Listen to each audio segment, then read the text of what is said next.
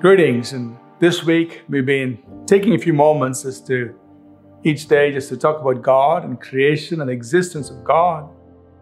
And today, very briefly, I just want to address the, the whole the Big Bang Theory.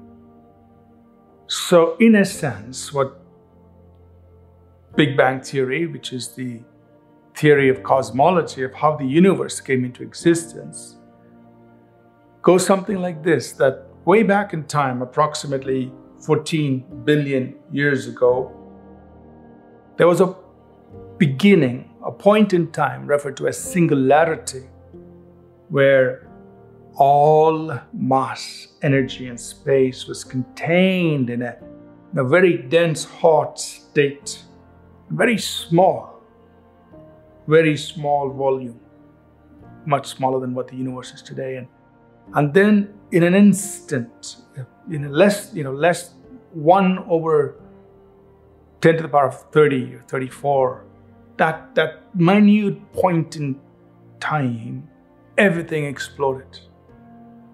And these hot substances, as they exploded over time, cooled and formed subatomic particles and later atoms and uh, giant clouds and primordial elements came out of this and hydrogen and helium and lithium and all of these came out of this and through gravity the stars came into existence and galaxies and on and on and that's how the universe came into being. And that's an attempt to try to give an explanation to the origin of this universe. Now remember neither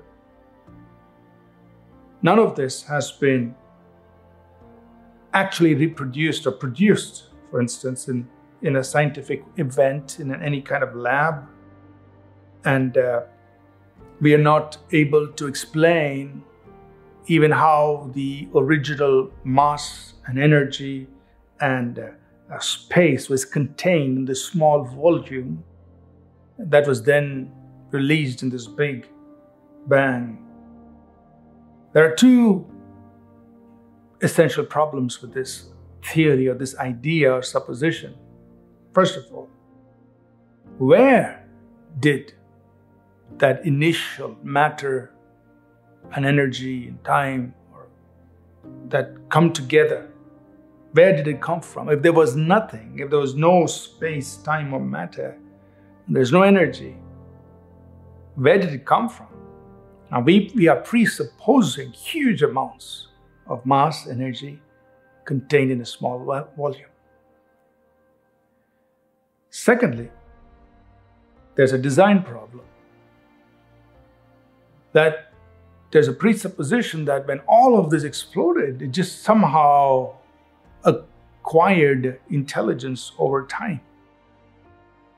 So that this vast universe, all the stars, planets, and other bodies, could be so precisely positioned.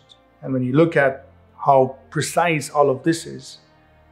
There are 30, at least 30 parameters, including what we are all familiar with gravity and uh, other constants that are so precise that even a small change and life on earth will be completely destroyed. They will be, it'll be catastrophic uh, in this universe. So the fine tuning of this universe, the universe is so fine tuned, so finely calibrated that for it to have happened by chance takes greater faith than to believe that God flung it out there with the design that He had in His mind. Hebrews 11, verse 3 By faith we understand that the worlds were framed by the Word of God, so that the things which are seen were not made of things which are visible. So when God spoke His Word, He released energy He released time, time, energy, and design were released in the words that God spoke, which then brought all of the universe into existence. That's what the Bible's telling us. And believing this word is so much more comforting and believable, assuring, than to believe a theory that has never been proved. God spoke. Everything came into existence. He released in energy, matter, design, time, all came forth from Him. We believe that. Let's pray. Lord, we worship you, we acknowledge you, we recognize the power of your word, and that by your word, everything came into existence. We praise and honor you in Jesus' name. Amen. Thank you for tuning in to Living Supernaturally. For more resources to strengthen your spiritual walk, please visit apcwo.org